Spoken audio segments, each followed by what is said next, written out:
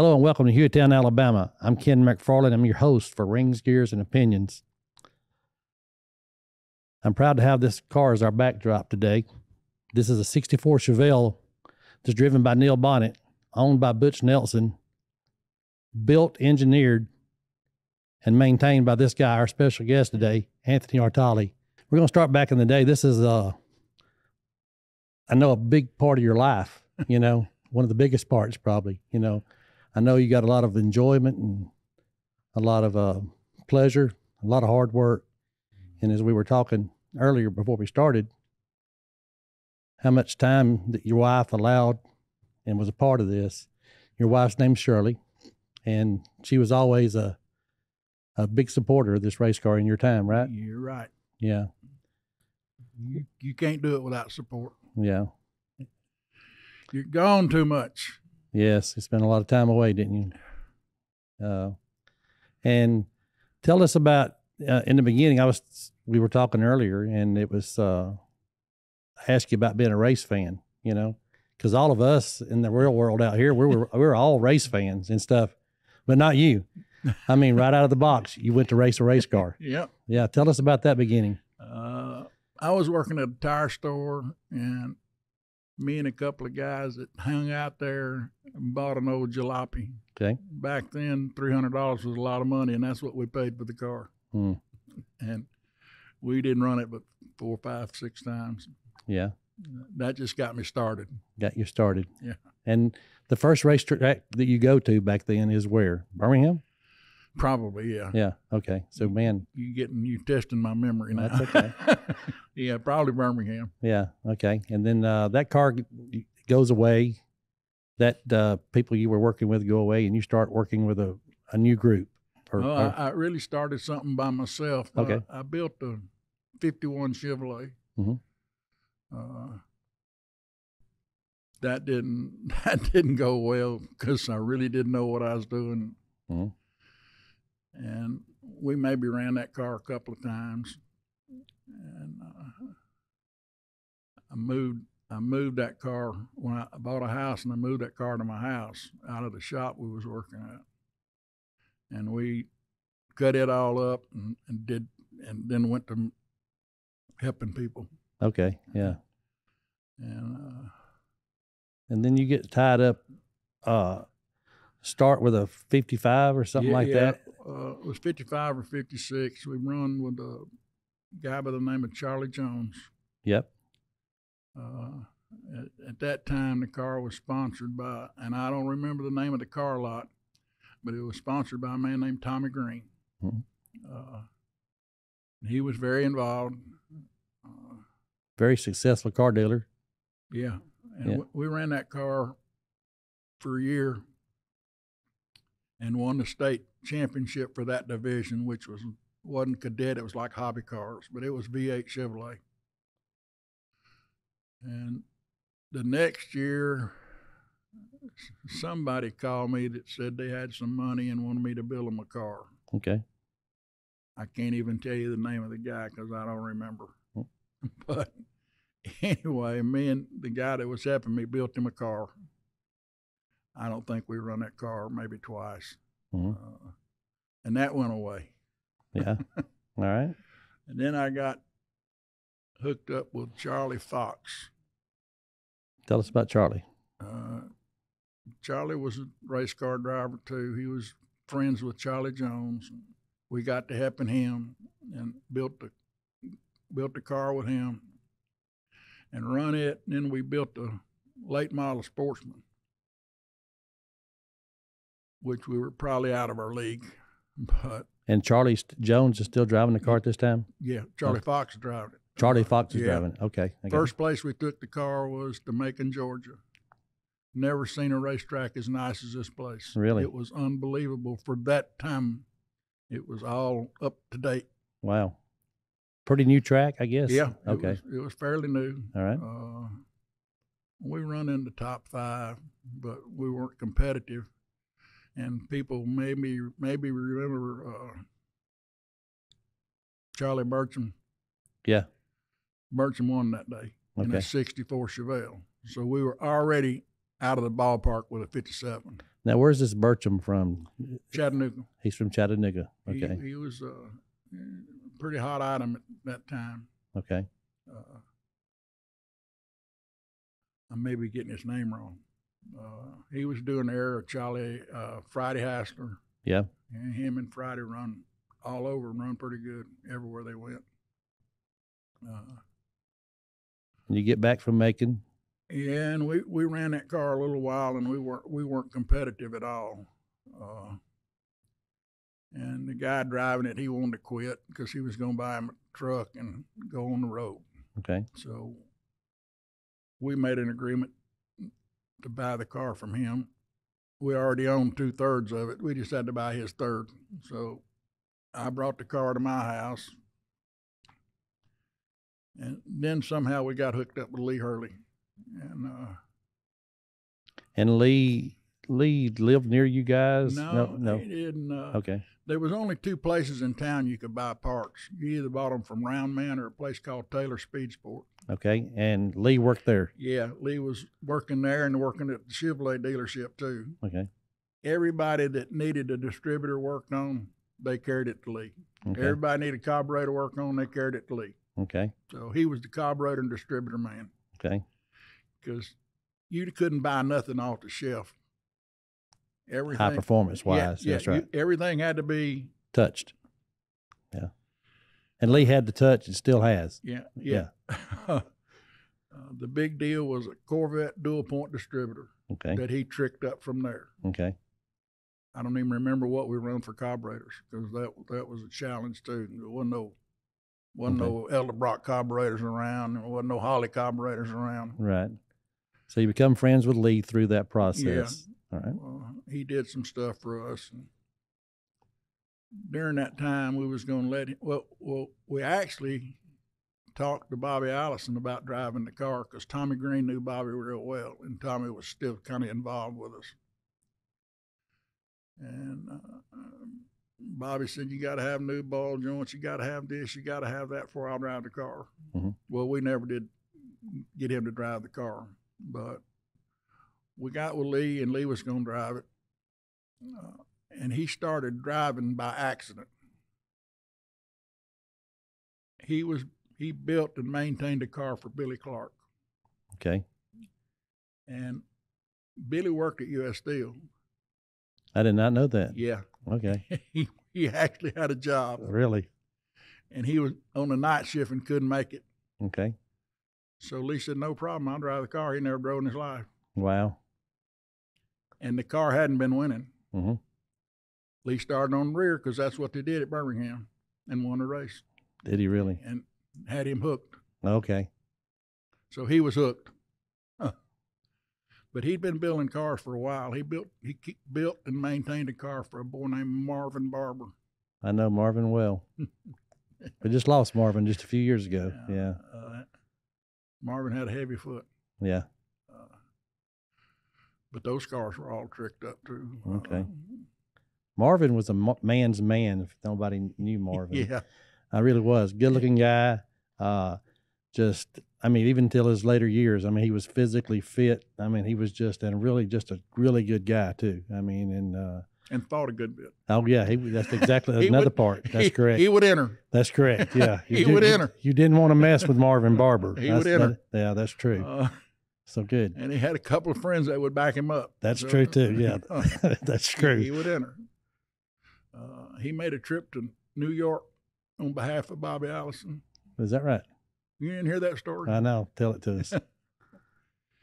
you know, uh, when Bobby was driving, first started in that thing, uh, Maurice Petty beat him up one day Okay. at the racetrack. Okay. Maurice was kind of a hothead. Yeah.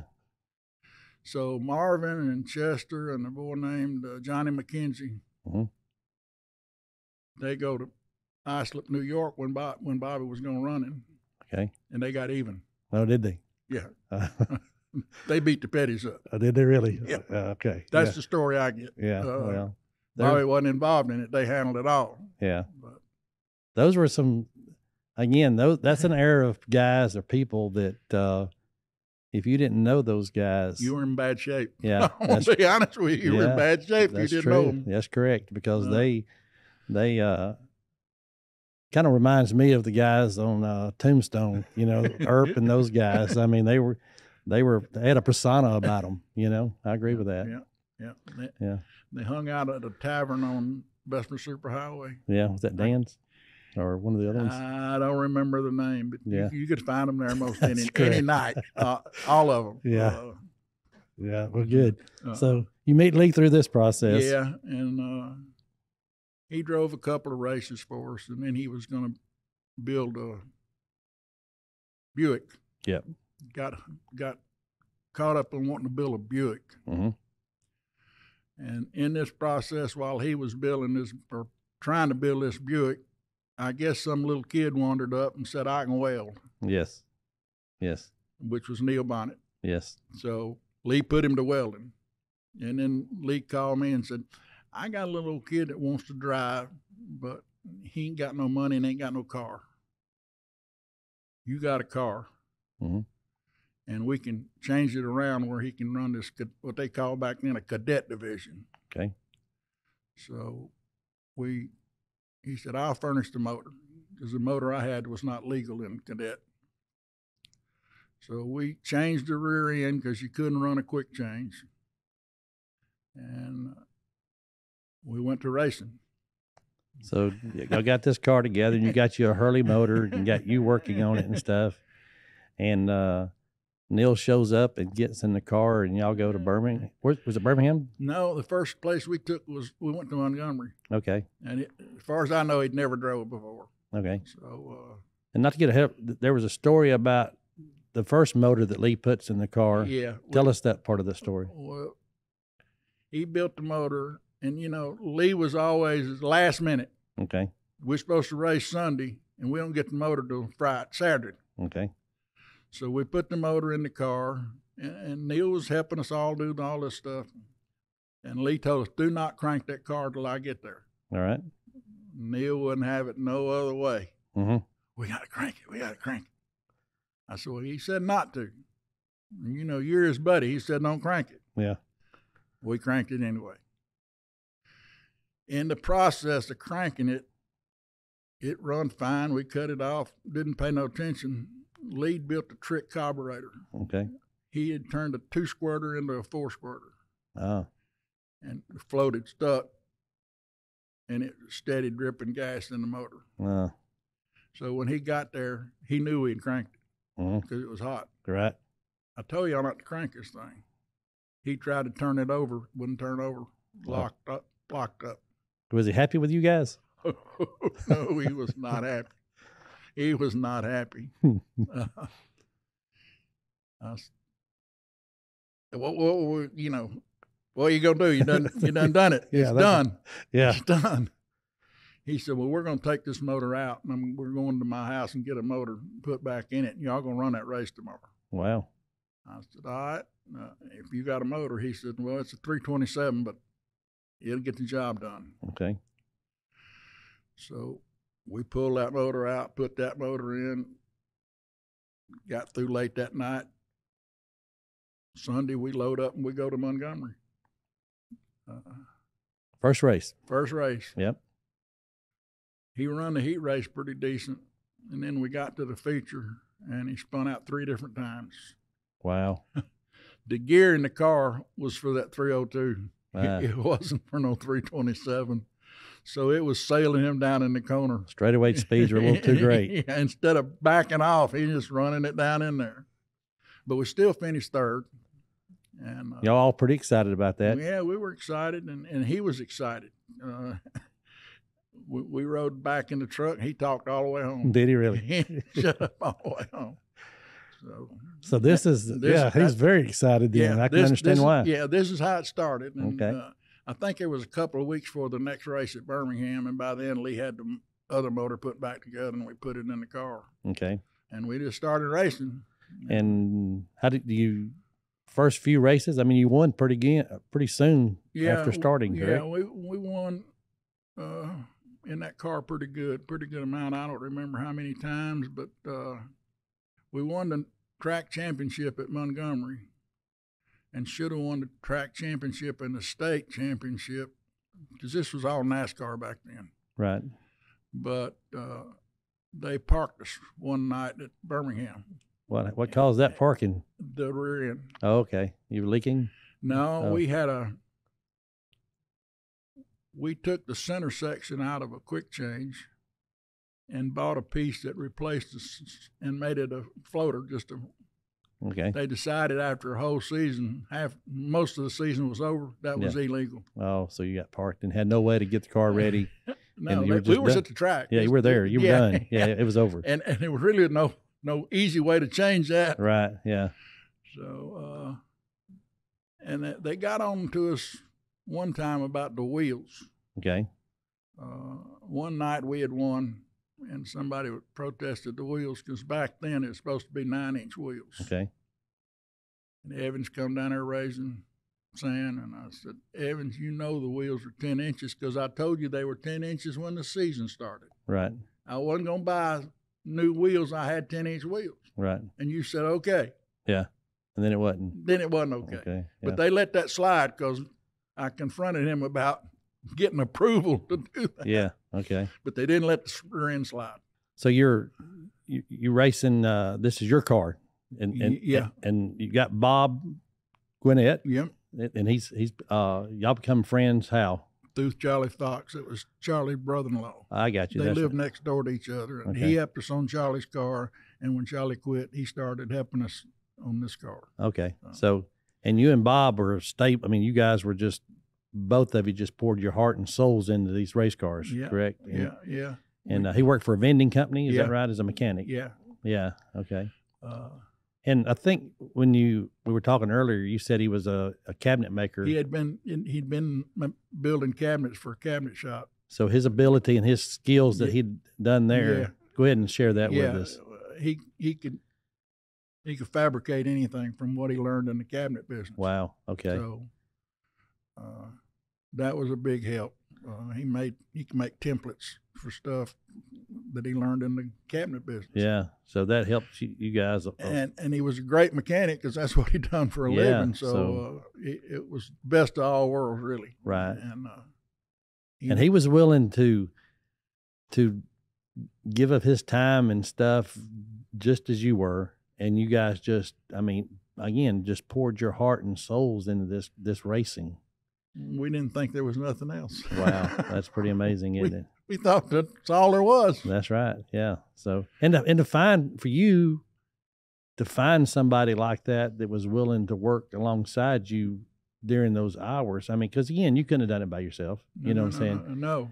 And you you had to have somebody, and to find that person, and for you to be like minded and work so well together. That, That, was that's the real trick. that's the real trick. I agree with that's you. That's the real trick is Yeah. is getting along. That's right. Yeah. And uh, so uh, you and Bob are, and you're you're funding most of this out of your pocket. Me Correct. and me and a boy named Eddie Abrasley was funding it out of our pocket. And tell me about Eddie. I don't. Uh, he worked with me at uh, Seco Corporation. okay. He was going to school to become an engineer. He finally graduated, uh, uh, and he, was paying part of the bills, and I was paying part of the bills. Okay. And, and at times we we'd float a thousand dollar ninety day note. Just to I. I'd get thousand for ninety days, and when it came due, he'd get a thousand, and we'd pay that off, and we'd swap that back and forth. Now, how long did Eddie stay involved with you? Not long after that, uh, Okay. So is that the, is that when things really got tight for you guys? No, it, really didn't get tight then. Uh, So- we when we they had a rule back then if if you ran really good in cadet, you couldn't stay there. Okay. All right. You Yeah. had to move up. Okay. So we we had converted that 57 into a 56, and then we turned around and converted it back to a 57, put the quick change back in it, Okay. and uh, Lee built us a motor, probably a 327 back then. I don't I don't remember. I just remember the first time we run a 350. Okay. You know, that's when they first come out. Okay. Uh, and we ran it, I think, in Macon, Georgia. Okay. Again. Yeah. We we took an untried motor that far to, to race. How did that turn out? Not good. Not good. So Lee had built a pan, and the bottom fell out of the pan oh, because the engine had no way to breathe. uh, That's when he come up with putting breathers on the valve covers. is that, That, okay? That I've 350, seen it for years. that 350 didn't have no way to breathe. Okay. So the pressure got so bad and it forced the bottom of the pan out. Wow. So that wound up to be a bad trip. But after that, he he fixed it. He knew he knew what to do, and we didn't have no more problem with that. Okay. But we probably had one of the first 350s around. Okay. Uh, And had good success with it. we, we couldn't win, but we'd run in the top five. Okay. Uh, and we ran all over. Uh, Yeah, you were telling me you went to Maryville, Tennessee, yeah, to- we- all uh, over. Yeah, uh, I remember one weekend we ran uh, Friday night here, Saturday night in Montgomery, Sunday we run a 300 lapper in Maryville, Tennessee, and Monday we run. It was on the uh, Memorial uh, Labor Day weekend. Yeah. we went to Greenville, South Carolina, and run Wow. I all mean, that in four days, and, and come back Monday and went to work Tuesday morning. unbelievable. I mean, again, that people don't understand the hours and the time that you guys. I mean, you you guys lived it twenty four seven. I mean, yeah. it was. uh Yeah. I know during my racing years, I mean, it was, you know, we'd go race Friday night, Saturday night somewhere, maybe, you know, and that was a really a tough gig just to run Mobile, Pensacola, and then yeah, Mobile. that, yeah, we didn't. That's that's something we didn't. We didn't run a lot of Mobile and Pensacola because it was just too far at the times they run for us to work a job and race. and get there. So yeah, and, and we had Birmingham and Montgomery. Yeah. So yeah. and So you, anyway, you guys are racing. You and Neil are y'all doing your thing and and doing pretty good. And then monies get tight. well, we For- we, we I got laid off for one thing. Okay. That didn't help. Yeah. Uh, and uh, we had rented a shop over by Village Creek off Lum Avenue because we was wanting to build another car, and I, my basement wouldn't handle all that. Okay. So we were in the process of building a 64 Chevelle when all this took place. So uh, we finally just had the, the 57 wouldn't get it done no more. Right. So, So we, we finally just had to park it because I was out of money and yeah. Mm-hmm. How far along were you in the build of this '64 Chevrolet? it was completed except for putting the fuel cell in it, the rear end in it, and the A-frames on it. Okay. Now I want to stop one second and go back to this paint scheme he, we got here. This this paint scheme came about how? How? I mean, because it, it was with you. Oh yeah, the cadet car Neil Yeah. drove was just like that. Was That's right. number one on it. Yeah. So how did this paint scheme come about? I don't, I don't remember that. Really? I really don't. It's because it's Uh, still it's classic look. I mean, that, I mean, everybody can tell you this is just a classic look of a race car. You know. and and it may be from Lee. I don't I don't remember how we come up with that paint scheme, but Yeah. uh, So or, or I saw it somewhere. I, Uh, yeah. uh, So things have gotten tight situation, and uh, you have an acquaintance by the name of Butch Nelson, and uh, you know each other. And then uh, tell us how you and Butch came to be. and just talking to him, I'd stop by his car a lot on the way home from work after I got another job, and we'd converse, and he'd tell me how unhappy he was with his racing deal. Yeah. And uh, he wanted to do something different. Yeah. I said, "Well, I got a plan. If you want to do something different, I, Now- I, I got most of the stuff. I just lacking money. All right, I'm gonna I'm gonna pick here just a minute. So, really, in the back of your mind, getting there, you'd already thought about proposing this to Butch. Yeah. Yeah. So you're sitting there knowing Butch is doing okay and got some money to spend and willing to spend. Well, I knew he'd been spending a bunch, Right. and So was not getting no results. yeah. So, you know you got a good race team. You got the people, and you so you pitched this deal to Butch. Yeah. And how, how does he take well, it? Well, he first pitched me by he wanting to do something different, I got you. Yeah. and I told him, "Well, we can do something different because I got the stuff to do it different with. I just don't have the money." Okay. And he says because we know we all know Butch. Yeah. You know, so I, I want to hear his response. I don't remember what his response was, but he said, "Hey, we can do this. Okay. Good. I, I'll put up the money, whatever it takes. You just tell me what you got to have." Okay. So does he acquire your stuff? Or you donated your stuff to this Well, race team? My theory was, oh, I just wanted to race. That's right. Okay. you know, so I, I told Butch, we'll put a value on my stuff, and I don't want the money till Okay. we quit. Wow. Okay. When we when we dissolve, I want to be paid. Okay. He said that's fine. Yeah. So I think we put a twenty five hundred dollar value on it. Okay. So yeah, and uh, that was a 'Cause I- bargain. I, feel yeah. like that was a bargain. Just well, I had trailer, two Yeah. cars. I don't think I didn't have but one motor back then. Okay. I don't think. okay. But anyway, he said that's fine. Tell me what you need or get what you need, and I'll pay for it. Now tell me about. I, I'm going to stop the Henry in this part. But Butch kind of Henry's kind of a solid partner, correct? I mean, Henry is unique. okay. Uh, he was a partner that went along with whatever Butch wanted to do. That's what I understood all those years. It didn't matter It- whatever it- Butch said. Whatever Butch said, that's It- what we're going to do. And Butch even explained to me sometimes that if he needed a part chased or or something, whatever, Henry was more than willing to do whatever it was to help maintain that. I wasn't much involved in the in the cup deal that they tried to do. Mhm. It was during the time my son was in the hospital getting uh, open heart surgery. So they had put this deal together. They bought a car from Bobby Allison, an old Dodge. Yeah. And uh, got to the racetrack with it, and and the Petties were good about helping people that were running Chrysler products. Okay. And uh, they they come over and looked at the car and said, Neil, this carburetor ain't never gonna work. Okay. And this manifold's never gonna work. Mhm. We got stuff at the shop, but we don't have it on the truck. Henry drove up there to Randleman, North Carolina, and brought that stuff back. That's maybe the story I was telling you because Butch was just, Butch always appreciated Henry and his willingness to support him. You know, all through the years, it was every time Henry's name came up, Butch was just like you said, whatever you need, whatever you want to spend, whatever you want to do, do it, do, do it your way, Butch, and and and did. yeah, Yeah. It never, I never seen him question anything about money or Yeah, whatever it cost. It cost. yeah, We're good. So Uh, so you get you guys get the '64 Chevelle put together, right? yep. and uh, right out of the box, y'all go to Birmingham And win. and win. Wow, it's amazing. and like you said, Butch Butch had not had a lot of success in his career, so with this victory, and your guy, he was he was on fire. Yep.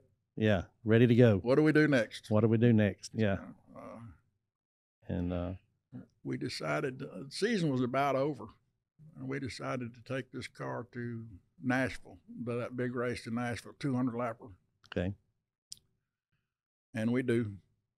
And the left front spindle breaks about halfway through the race, and it demolished the car. did y'all qualify pretty well and was Yeah, running pretty yeah, decent? Yeah, yeah. We, we were running top five. Okay, but again, we're talking about back in the day. You got Harry Gant, Butch Uh, Lindley, you got it. Sam you, Ard. You got a bunch. you got a bunch. You Yeah, got a bunch. yeah. I mean, and they was the real deal. Yeah, I mean that was All the- of them were the real deal. yeah. Every one of them was capable of winning at any weekend, any time, and And little be knowing to us dummies because we hadn't been in the racket so long. Mhm. They had tires nobody else could get. I got you. Yeah. So Lindley and Gant was on the Firestone deal. okay, They had tires you couldn't buy. I got you.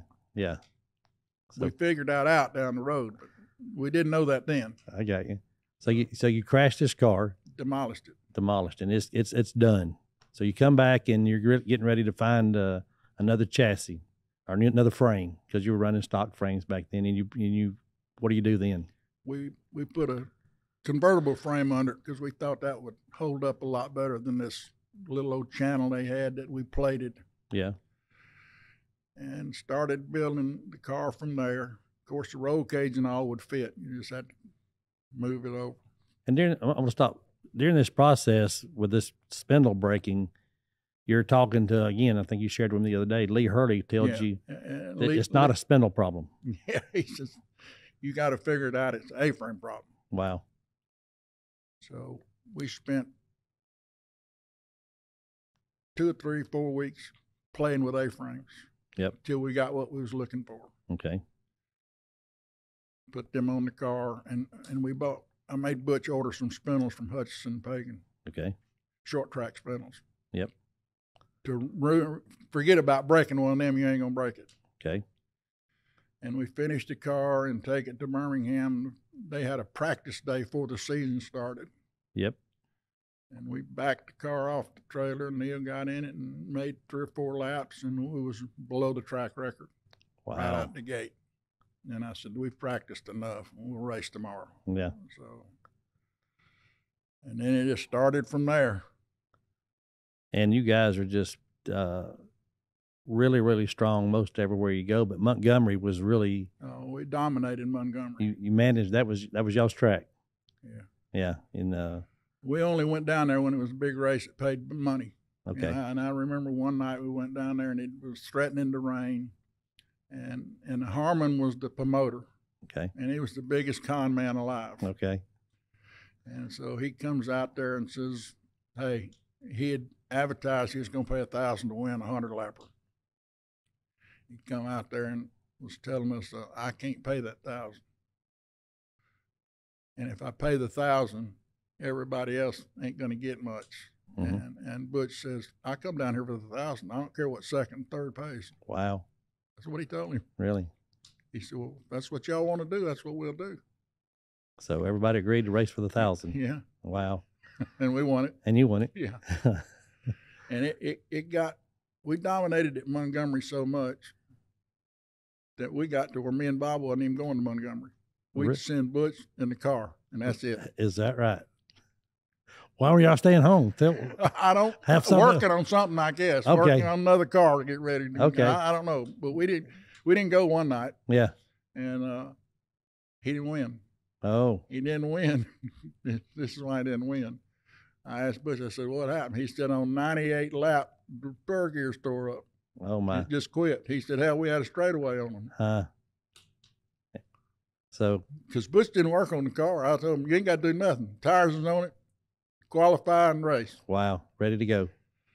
And he led most of the race till the spur gears tore up. Wow. Back then, they were having problems with spur gears. Yeah. So, I, just one of them deals. Yeah. But we'd have won that race. Wow.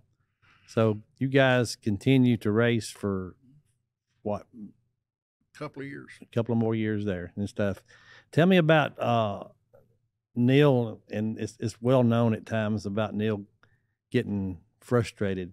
And uh, you were talking earlier about he didn't come by the shop and and help out very much because you're in Bob's pace was not hit to his pace. You know, we were slow. Yeah, methodical. we were slow. I Yeah. don't know about the methodical, but we were slow. Yeah, and it, it just drove him drove him crazy. Correct. And he didn't like change. Yeah, And We were always trying to change something or figure something else out or do something different. yeah. And he didn't he didn't like messing with Wanted, wanted, wanted to keep what he had. it was good.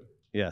yeah. Don't mess with it. It's Right. good. Yeah. Well, it's good today and it's good tomorrow, but it may not be no good next week. Yeah. So you got to keep trying to hunt something. Yeah. And so after the 64 Chevelle, you guys, uh, what moves you to the 68 model? Well, we was trying to get the weight down for one thing, Okay. and then '68 was coming along and making the '64 body style kind of elite, uh, obsolete. Obsolete. Yeah. Yeah. And we knew the car was too heavy when it come out. See, it wasn't no rate, weight rules back in the day, Okay. Yeah. and what people couldn't figure out, Friday Hassler come down here with a '55 Chevrolet and murdered them. Really. for like 10 or 12 weeks in a row. And they finally put a bounty on him. Anybody beat him got $500 bonus. Well, they still couldn't beat him. But Friday had figured out the lighter you get them, the faster they go. Okay. And this before they ever had a thought about a scale. Yeah. Nobody had a scale. Really. Nobody So- thought about it. So was he running? What, what, what do you imagine he was running for a frame? I know they're still. I'm sure it's 55 right? Okay. So yeah. but he just, just, uh, he, lightened it up. he took a torch and melted all the lead out of the joints. Oh, And he, he skint the car down till it was hardly nothing. wow. This is before I was racing. and, uh, I was spectating in because I I didn't have a car at the time. Yeah. But uh, he was killing them, Yeah. and, uh, and we we finally figured out it's all about weight. Yeah. So, all right, you're starting to build the 68 Chevelle.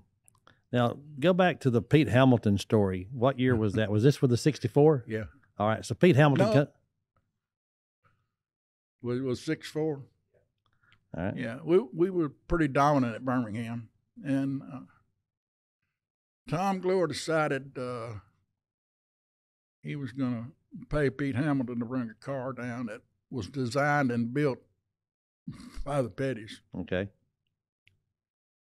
It was so illegal, it was unbelievable. And he tried to make it. He come down there. Tom Glore was a fair guy, but this deal here got a little out of hand, and Mhm. everybody was raising hell. And he said, "Well, wherever Pete finishes, if he wins second, I'm gonna pay second, first place money." Okay. So he got everybody to go along with it. All right. But my little driver couldn't figure this stuff out.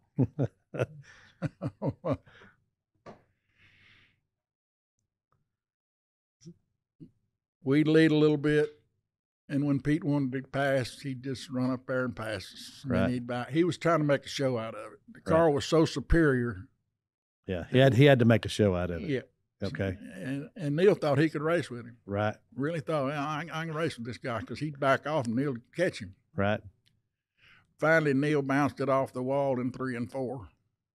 And we brought him in, put two tires on it, sent it back out, bounced it off the wall again, come back in. Said, what are we going to do? He said, I can't turn the wheel no more. Oh, really? Wore out. just wore the car out. Just would not stop.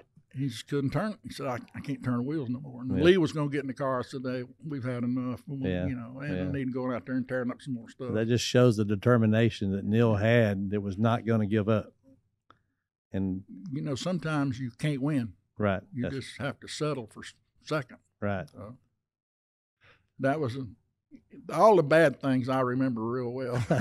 that was a bad night. Yeah, I got That you. was a bad night. It's uh so uh you and Butch and and uh Bob and uh you guys just continue building this 68 Chevelle and you you have a success with the 68 as well as you did the, Well, the well, we- 64 we, had some problems with. Uh, we carried both of them to Nashville for that big race, and the '68 had never been never been raced. right And at the time, we was having problem getting radiators, okay so everybody went to this little Corvette radiator, Mhm. and was having trouble getting good oil coolers. okay So I put that Mickey Mouse radiator in there and a Mickey Mouse oil cooler, and the car run hot early in the race. okay But uh, we carried two cars up there. Roy Milligan drove the 64. And he he drove a car a lot different than Neil. right He run off the corner. He didn't run down in the corner. He run off the corner. okay And while we was getting him ready to drive the car, because he'd never drove it before, he kept saying the gear ain't low enough. Gear, and I, I put the gear in it we always run with Neil. right So we changed the gears a couple of times, and it was really low. hmm And at this time, Chevrolet rods were bad. okay This particular motor had the best rods money could buy. Mr. Rod had just come out. Hmm. So I figured we'd be all right even if we was turning it too much. Back then, 6800 was about it. that's all you could turn You, you turn it more than that, and you got, you're looking for trouble. right So Neil pulled out early because it run hot, and uh, Roy's just trucking right along, running second and third. Looked like he was on a Sunday drive, and this is one of them deals where I made a mistake, okay and I think it was a 400 lap or 300 lap. We pit about halfway through, and I put Neil in the car. oh you did Bad move. Yeah because the uh the rpm situation become bad dynamic. move. And we're telling Neil, take it easy. You know, them radios back then were on the board. Take it easy right because we had to race one. yeah We pitted, and got tires and gas, and was leading the race. And everybody else had to pit. right All we had to do was just take it easy. He blowed the motor up. Wow. So how did Roy take getting removed from the car? Was that was he okay with it? You think? Uh, I don't know whether he was okay with it or not, but like had- I said, I called the shots, and it was a right. mis- it was a mistake. I I, should have left. I yeah. should have left him in the car. Yeah, because you, you you think you still could have won even with Uh, Roy in the yeah, car. well, yeah. he was he was there. he was driving his pace. Yeah, and his right. pace was driving in easy, driving off fast, right. Yeah. and it was working. Right. But that's my mistake. So several times during Neil and Butch's y'all's thing, uh, you were telling me one story about Bir- uh, Birmingham one night that Neil got frustrated and quit. Yeah. Yeah. So tell us about that. That was our major blow up.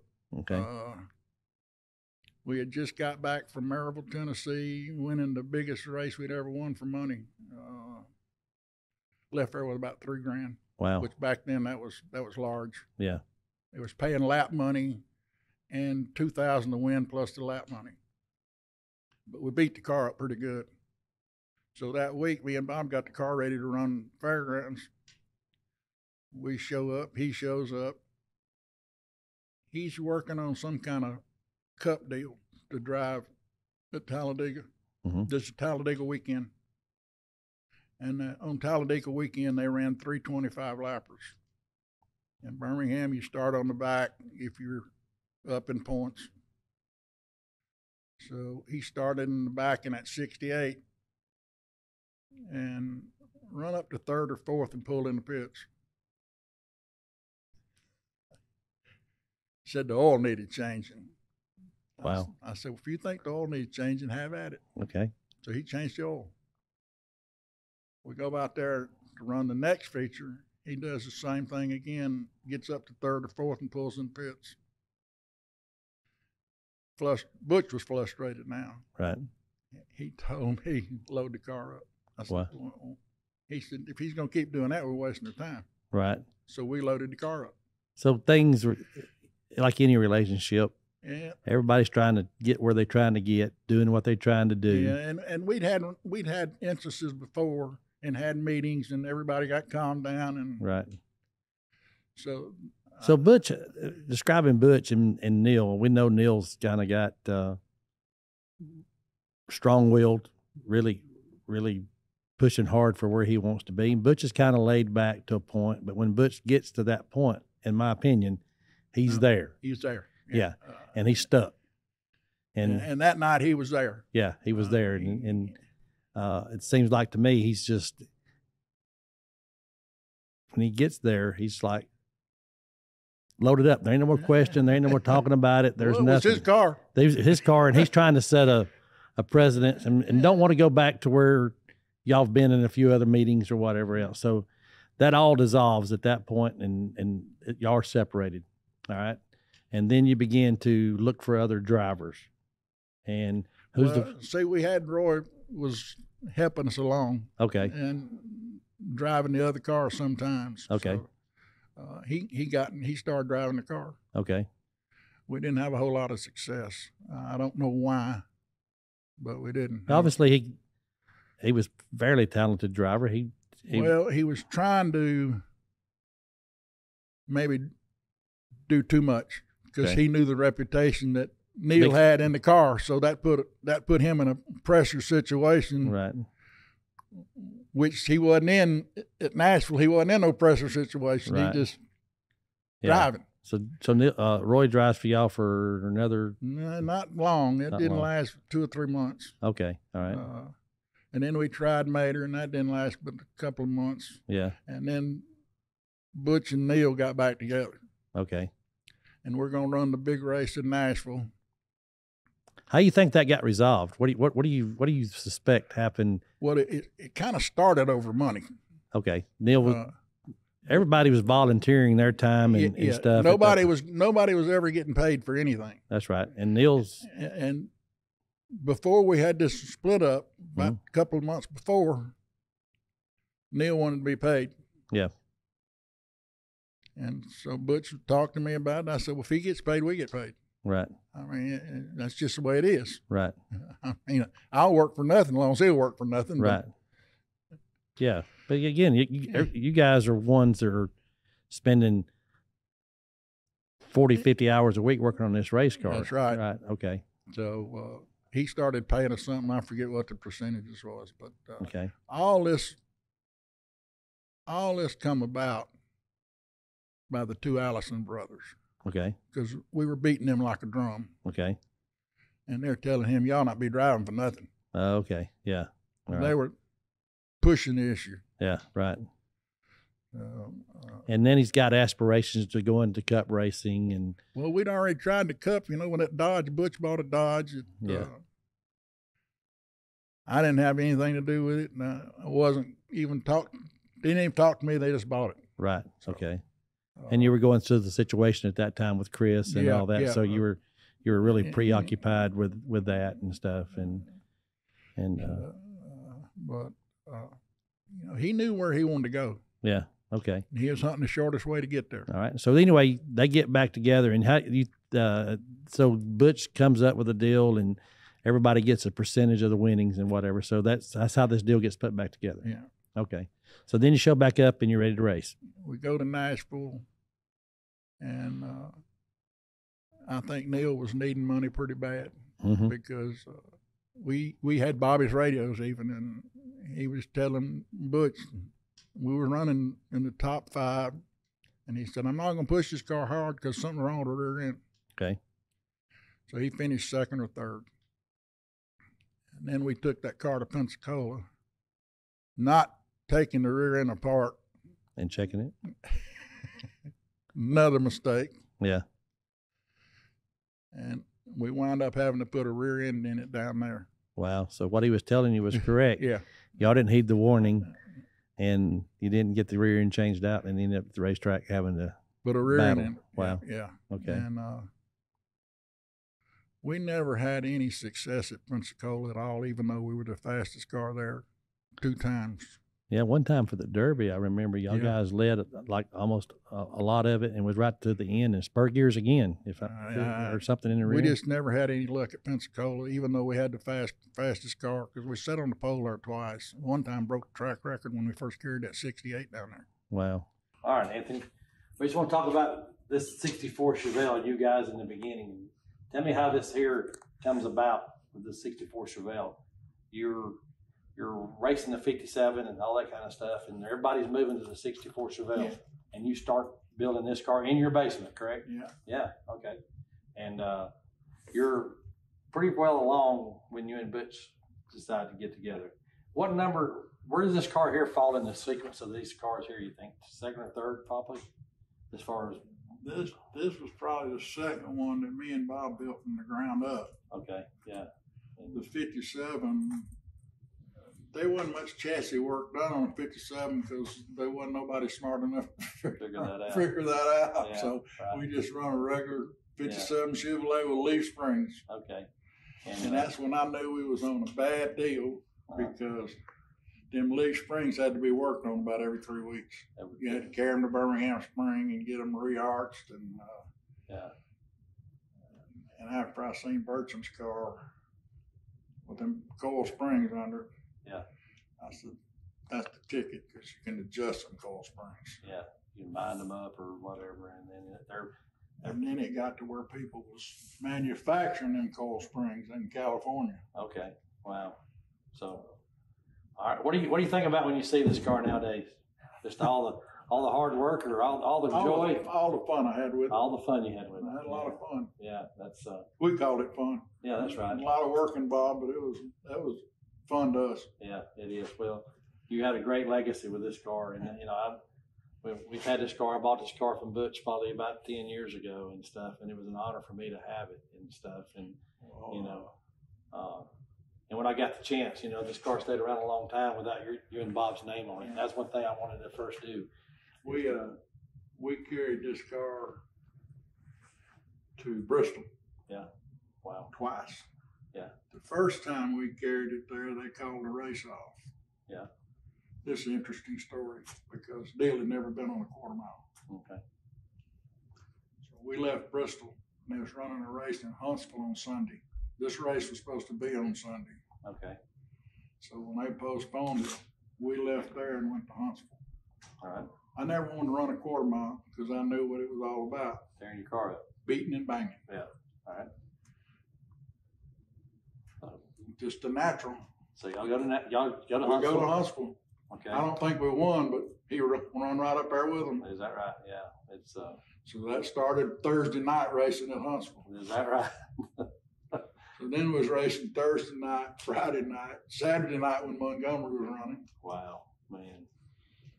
Just to maintain a car and get it to the racetrack th- during that week was had to be Was Yeah. short week. short week. Yeah, that's right. But i- i- if we raced Saturday night at Montgomery, Yeah. me and Bob was at the shop Sunday afternoon, unloading it, getting everything ready for Thursday night again. Yeah, and that's what you said. A lot of guys raced. They they they shorted their, their they didn't work on them like you guys did. You guys worked on them all the time. Yeah. Yeah. yeah that's uh, that's what Pretty made the difference. Pretty yeah, much, yeah. pretty much. Good.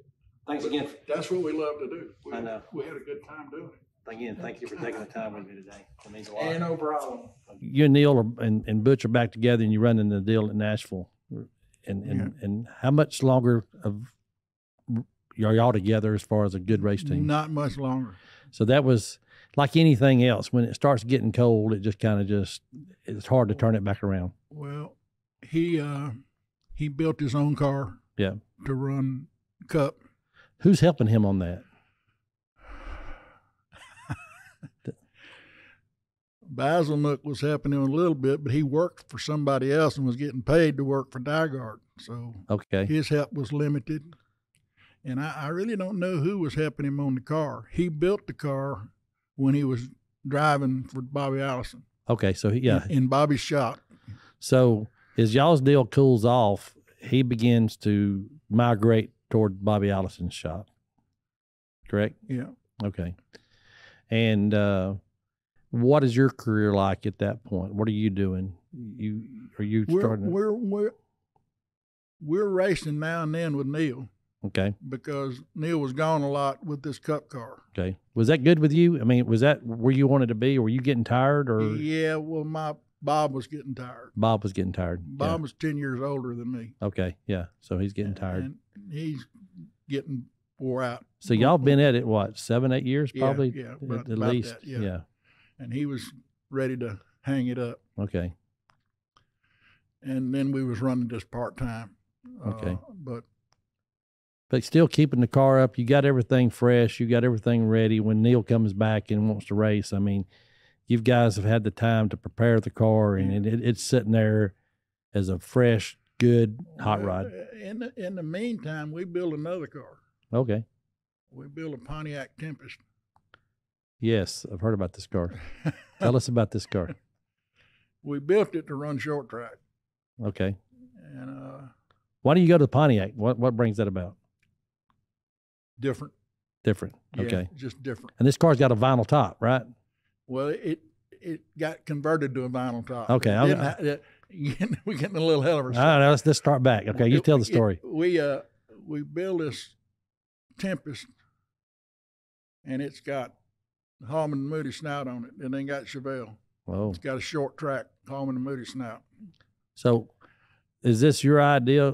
I mean, you're building this car, and you decide to go from a stock frame to go, and you, you're going to put the snout on it, right? I'm gonna. We even built a frame jig, Okay, so we could build a frame frame up, no, it, all tubular. right. Probably one of the first tube chassis around. Well, I would imagine. Yeah, and we raised the nose in the car. Okay. So we wouldn't have to worry about tricking up the A-frames. We just raised the whole nose. Okay. So you guys are going to run this car. You're building this car to run Short track. same Yeah. thing, same deal you've been running. Yeah. Okay. All right.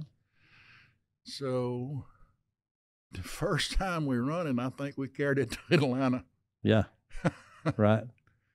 And uh, So how does that come about? You're building this car to run at a short track. You know, it's going to be a short track, and then you guys, what what what do you decide to go to? How's that work? I, I don't know who made the decision, but uh, Neil run Atlanta the year before, uh, what they called an invitational race Okay. in one of Bobby's Camaros. Okay. And I think he won it. I'm pretty sure he won it. Okay. So he wanted to go back on that invitation. Okay. We got invited, so Okay, so you're you got this car and it's fresh. it's new. It's new. It's yeah, new. yeah. It's new. Okay, So we take it to Atlanta and run second. Shouldn't have run second because we had a quick change in it. really? And you don't want to run a mile and a half racetrack with a quick change. You want to run it with a Yeah, Ford rear end. right. We snapped off a couple of the bolts. It was a brand new rear end, but it was breaking the bolts. Okay, And Lee Hurley climbed under the car during the pit stop and put bolts in there. no kidding. Anyway, we finished second. They made us tear the motor down. Pissed me off. Hmm. I really wasn't happy about that. Why? Uh, But, but we finished second. And it was you had to tear the motor down if you're running the top three. okay, and why? Why did that bother you so bad? Just just because? Well, it's been a long week, and then I'm sitting there trying to tear a motor down, and I got you. Yeah, just- just n- not good timing. Yeah. All right. uh, but we finished second. Okay. So then we get the bright idea to run Charlotte. Yes. So we know the quick change ain't gonna work, so we put a Ford rear end in it. All right. Well, This First- car is orange in color. Is that right? yeah, it was kind of a uh, mustard looking color, really. It Mm. wasn't very pretty, but Corky designed all this paint Okay. job and all. All right, all he right. did all this. Okay. we didn't do no paint work. Okay. Right. So uh, we get up there, and the first thing they do is make us tear the fuel cell apart Okay. to make sure it'll only hold 22 gallons of gas. All right. Well, we had it where it hold more than 22 gallons of gas. so they made you put two by fours in there Okay. Just to, fill the space. shrink it back up to 22 gallons. Okay. That was our first problem. All right. Second problem, they didn't check height like we check height here. Okay. They didn't run no stick under it. Okay. They had a limbo bar, and that top had to touch that thing. Okay. It wouldn't fit. Too low. Okay. So we had to raise the car up, which changes a lot of stuff when you raise a car up. And Banjo got to talking to us because at the time we were we were pretty competitive everywhere. And, uh, and, And he's hunting business, so you Yeah. know, he's doing his thing. But uh, if I remember correctly, Butcher story. I'm gonna enter- I'm gonna I'm gonna add a Butcher story here in a minute. Everybody was intrigued at the racetrack with this car. No, with, with the second car, I'm, I'm oh, getting okay. there. All right. Good I'm deal. right. Okay. Come on then. So uh, I get to talking to Banjo, and he says, "You ain't gonna do no good with that car here." He was at Atlanta. Okay. He said, "You did good at Atlanta because you can run the car where you wanted to." Right. He said, "Your car ain't gonna keep up here Okay. because they've, they've raised you up two inches, Yep. Okay. and you ain't you ain't set up for that." Right. So he was right. We didn't run all that great, but we had to go back three times to run that race because it kept getting rained out. Okay. Uh, and that kind of started Neil's career because while we were up there at Charlotte, we stayed for the cup race. And David Pearson got sick. Okay. And they put Neil in the car. Really? Yeah, they come hunted him up and put him in the car in the middle of the race. Wow. Uh, so that was really his first, first, So how does he do in the car?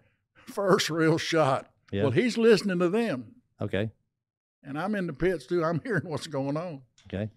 and uh, they let him run it for four or five laps. He's coming back right through the pack like he's supposed to, and that, that car was bad fast. That's, good hot rod. And he- he he asked him, "What do you want me to do?" I said, "Neil, if you can take to the front, take to the front." So he proceeds to go to the front, Wow. and he's running second, I believe, behind Baker. And he tries to make a move on Baker, and it's spun it Run out. it out. Wow. And after the race, he didn't hurt the car. I think I think he finished the race. But after the race, I said, "What happened?" He said, "I didn't realize that car was loose." He said, "I was feeling a breeze coming through the window, Mhm.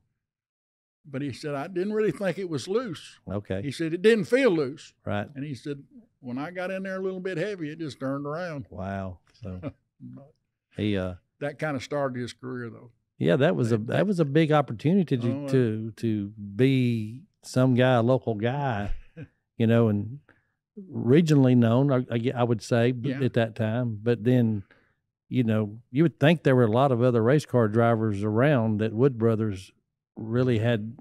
Uh, they picked him. I, I, I think it's a. I mean, yeah, it and like a- you said, it was a big break for him. yeah, and they they uh appreciated him from from then on, like you said, because then He got the ride he got the ride later on. Yeah. He- wow. He, drove for Harry Hyde first, and then he drove for Woods Brothers. yeah, so yeah. Uh, but uh, So tell me about the car number two. So that car, that that, that uh, so we we bring the car back, and Neil started it. He cut the body off of it, okay, and we put a later model Pontiac body on it, okay, and we get uh, the guy that did all of Bobby's trick work. I remember. I can't remember his name now. body wise, Yeah, he did. Well, he did row bars. He didn't. He worked for Bobby for a long time. was he a local guy? Well, he was local. I guess he, if he's still alive, he's still living here. But uh, he had moved from the Carolinas here to work for Bobby, Okay, yeah, I don't know. and he tricked this body all up. Okay, He knew how to get one ready for a super speedway because we were going to run Talladega. So uh, they didn't have no templates to fit that car. oh, That's where the problem started. okay, So we bring the car to Talladega, and it, it's pretty tricked up. It's a pretty bad looking car, right, and uh, the officials didn't like it at all. right, But they didn't have nothing to compare it to. okay, So next day they rented a rented one at the rental car place, trying to compare it. And see, I played dumb because Neil was in the cup garage, okay, and every time they quiz me about, it, I said, "Y'all need to talk to Neil. Mhm. I just work on this thing." yeah, So we decided how we were going to do this. So uh, we practiced the car, and I don't know what happened in the race. I don't even remember what happened in Oh, the really? race. Yeah. we ran the race, and yeah. But uh, uh, so what happens to this car after that race? shortly after that, we kind of disappeared. Okay, I mean, we kind of was through. yeah, yeah, you were through at that point and stuff. Uh, now I think they took that car. I think Butch and Frankie took that car to Daytona. So how does Frankie Frankie get involved with you guys? Well, he got involved with Butch. He got involved with Butch. He's gonna split the cost. okay, yeah, He wasn't having too much success racing either, and yeah, he wanted to race, and so they they got. I don't know how that all really worked out, but yeah, and then he went to the races with us. yeah, and and and Frankie was one of those guys that uh again he wanted to plug in just to learn and get knowledge, you know, and uh I guess you know at the time you guys were one of the leading teams, and, yeah, oh, yeah, yeah, and- we were. and uh and went on to have a storied career and built a lot of race cars and won a ton of races and stuff. and see, he called me several times when he started that thing. Yeah, I never called him back. did you not? Yeah, you were done. Yeah. I knew what he's wanting. Okay. Yeah. He's wanting somebody to teach him a lot of stuff he didn't know, Right. or figure out some stuff he didn't know. Right. Yeah. But I was outside salesman, and I was out of town a lot, and that Yeah. just didn't fit no more. Right. So let's go back and we're talking about Tom Glore, as you mentioned him briefly earlier about his uh his involvement in racing and stuff. And I don't know who had the track before he took it over, but Yeah. it was not very successful before he took it over. right. And I don't know how many years he had it, but he made it work like a glove. Yeah. Everything was precision, on time, boom, boom, boom, boom. People was out at ten o'clock unless we had a bad wreck Yeah. Yeah. because there was a noise problem. Ah, I got you. The, Yeah. neigh- the neighbors didn't like the noise. Okay. And, and when he leased the track, he guaranteed he would be out of there by 10 or close. Okay. Yeah. So they had everything lined up. And when seven o'clock hit, the first one pulled on the track and another was lined up ready to go. I mean, we was out of there a lot of times, 10 o'clock, Wow. And quarter 10, 9.30. and then again, I've I've I've been around a long time and I've, I've heard Mr. Glore's name forever, but nobody that I've ever heard had anything derogatory to say about No, he was he was a straight up guy. He Yeah. just told you like it was, and that, that was it. And this is Yeah. how we're going to do it. Yeah, He had a lot of people working for him that worked at Glore yeah, when he Okay. owned Tom Glore. Okay. Uh, so and they made he was their boss there, and he was the boss at the racetrack. So they made things yeah. Even the tech officials and Yeah, all those guys were things- employees of, they, of they his. made things click right along. wow, it is that. I I would say that was a golden years for Bir- for Birmingham as Oh, a they was racetrack. packing the stands. Yeah, yeah, just And see, we confronted him about money several times. yeah, Yeah, yeah, you ain't paying us enough. right. Uh, but And uh, well, good. And, and we finally got him to change the way to start. Yeah. Which put it put the cars that run good was at a disadvantage because they took your point average for three weeks, and that's how you started from the rear. Wow. So the guy that had the best point average for three weeks started dead last. yeah, Well, hard to get to the front in 25 laps. that's right, and caused a lot of casualties in automobiles. Caused a lot of bumping and grinding, that's Yeah. for sure. yeah. But it made a it made a hell of a show. So d- during your time there, uh, I won't I, I won't go regionally, but locally, who was um, who was your biggest competitors? Who did you, who did you have to race with the most, and who who did you have the best the biggest rivalry with? Well, I I guess Alton was probably the biggest rivalry to start out with. And Yeah. then, then he, like everybody, they fade out and come back. Somebody else comes back, and Yeah. It was de- it depended on who you had sponsoring you and who was building the cars. Uh, Everybody was hot at different times, I guess. You like you said, that Uh, found some technology or like you said, sponsorship or things of that nature. Richard Orton had landed a sponsor that had a bunch of money. Yeah, Now they said he was a bookie or a chicken farmer. I don't know what he did, and I didn't care. right. Yeah, but uh, he paid around, man, to build two cars, yeah, and they beat us pretty good for two or three weeks, yeah. and then we caught up. Okay, So uh, you had uh, to go back, had to go back to work. That's right, exactly. Well, Round Man was a. Uh, you spoke of him earlier too. He was a super talent. I was a very smart guy. Yeah. That uh, yeah, he goes way back further than I do. yeah, that's he, correct. He was back in the really old days when they run late model modifieds, yeah, old model modifieds. and uh, again from the '60s, early '60s on. I mean, and his his name is synonymous, and just done a great great job with uh, a lot of great drivers, and him and Alton coming together and same time period that you and Neil are together, Mhm. and and the racing is just really really intense. And Butch tells me a story one night. He came back into the shop. You may be able to verify this, may not know, but Neil's up in front of the car welding a, a bar or something underneath the front bumper to give him more strength or whatever. And Butch asked him, says, "What are you doing?" He says, "I'm building me a burger bar and I'm taking him out tonight." you know, so uh, I know, they, had, they had several run-ins. yeah, yeah, exactly, Berger Berger wasn't happy with Neil when we got to running real good. yeah, that's yeah, And Yeah. Neil just told him, if I hit you 10 more times, I won't catch up. Berger was rough. yeah. It was a Berger, he, didn't have to be rough. The Right. car was good enough for him to win yeah, without it. yeah, Uh, that kind of ended, a boy by the name of Rhea Greenwell out of Huntsville had a Ford. Well, in Huntsville, Berger jacked him all around, messed his car up.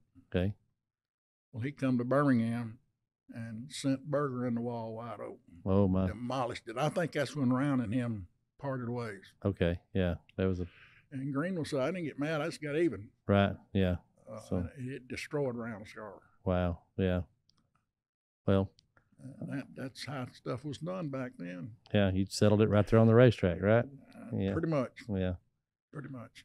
Well, this won't be our last segment. We're gonna we're gonna uh, we're we're gonna develop this and uh, get it out to everybody. But then we're gonna bring you back to some other point, and we're gonna get some more in. But I really really thank you for taking your time today to come out and I, I'm glad I still remember part of it uh, you've done a great job. No, you've done a great job, and it's because that's been a long time ago.